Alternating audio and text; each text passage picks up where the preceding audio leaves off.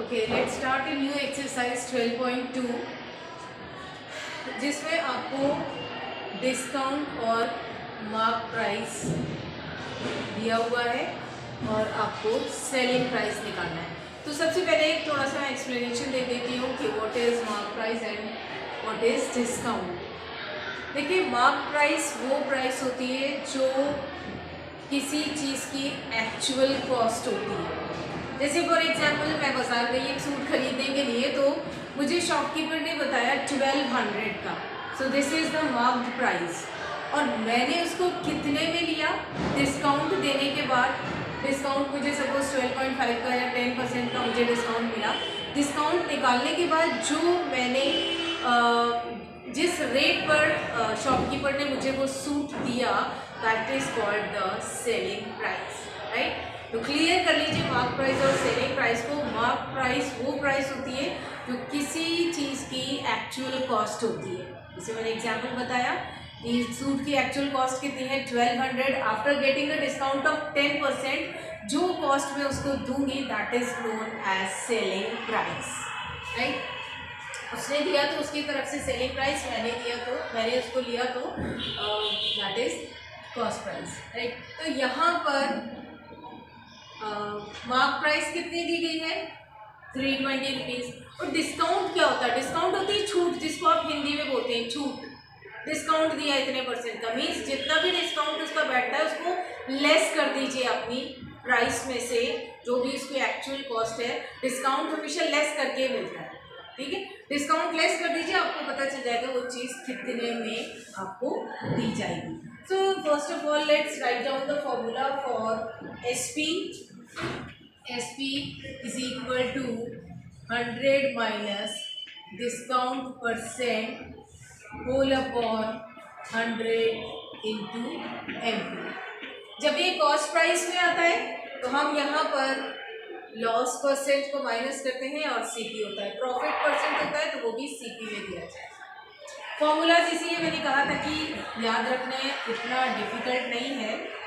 तो this is hundred minus discount percent कितना है? Twelve point five whole upon hundred again मैंने आपको क्या बताया है कि ये दोनों हंड्रेड जो है वो कैंसिल नहीं हो सकते क्योंकि बीच में माइनस का साइन है। तो सब्ट्रैक्ट कर दीजिए। ट्वेल्व पॉइंट फाइव तो hundred minus twelve point five this is five nine minus two is seven and 9 is 9 minus 1 is 8. So 87.5 whole upon 100 multiply by three hundred twenty यहाँ से इसका decimal हटाइए और एक ज़ीरो यहाँ पे बढ़ा दीजिए। एंड ज़ीरो से ज़ीरो कैंसिल कर दें मल्टीप्लाई करें आप 875 का 32 से। नीचे के जीरोस को हम कैंसिल नहीं करेंगे। मैंने आपको पहले बताया था कि नीचे के जीरोस हम डेसिमल के लिए बचा के हैं राइट तो बेवजह अपना काम मत बढ़ाइए मल्टीप्लीकेशन का और डिवीज़न का। Just multiply eight seventy five by thirty two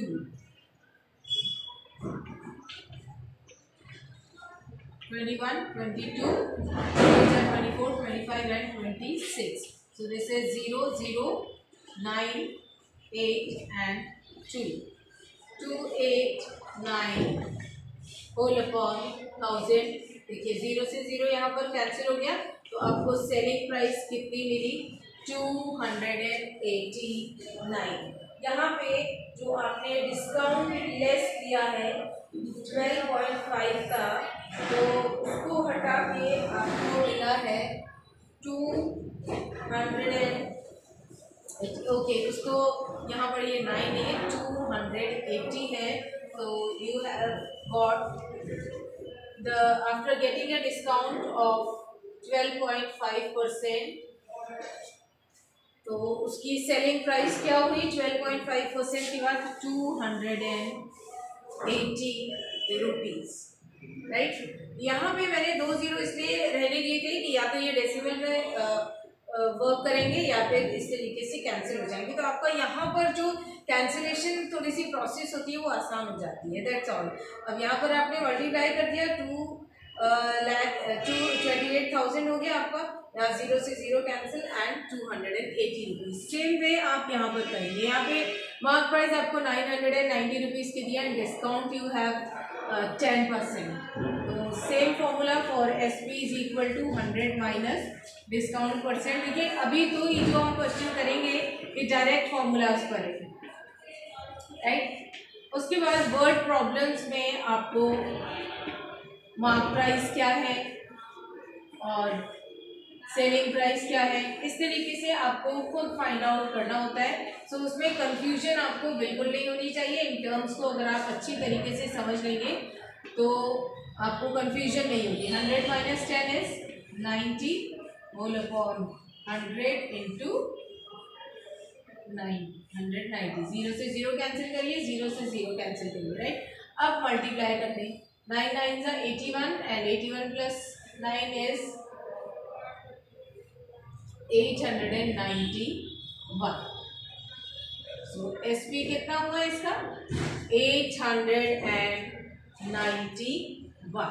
तो ये देख रहे हैं, अभी हमने जो भी ये फाइंड आउट किए हैं डायरेक्ट फॉर्मूला बेस्ड है ये क्वेश्चन तो सॉल्व करें आप इन्हें